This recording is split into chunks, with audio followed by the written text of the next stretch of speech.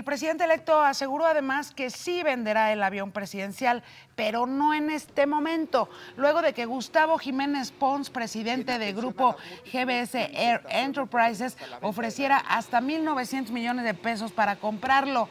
Empresario que, por cierto, ya pisó la cárcel porque ha sido acusado de varios fraudes, imagínese usted.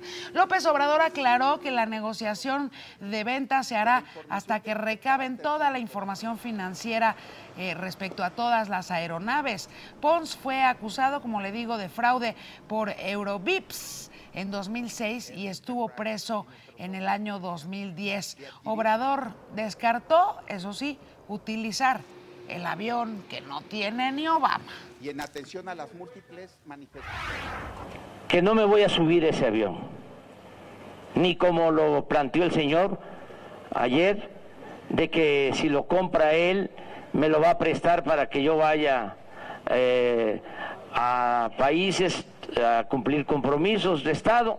No, este, yo voy a seguir viajando en aviones de línea. Imagen Noticias con Yuridia Sierra, lunes a viernes 2 pm. Participa en Imagen Televisión.